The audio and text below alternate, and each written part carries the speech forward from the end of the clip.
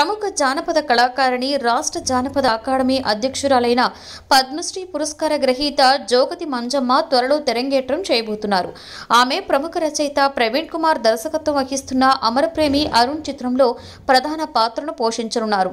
ఇదొక రొమాంటిక్తో కూడిన హాస్యభరిత సినిమా అని బళ్ళారి చుట్టుపక్కల ప్రాంతాలలో చిత్రీకరణ జరిపేందుకు సన్నాహాలు చేస్తున్నామని దర్శకుడు ప్రవీణ్ కుమార్ తెలిపారు.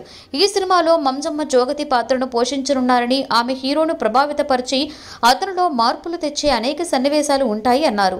చిత్రంలో ప్రముఖ నాటకరంగ కళాకారుడు హూలగప్ప కట్టిమనితో పాటు ధర్మన్న కడూరు భూమికా భట్ మహేష్ బంగ్ రాధారామచంద్ర మండ్యమంచు తారాగణమున్నారు.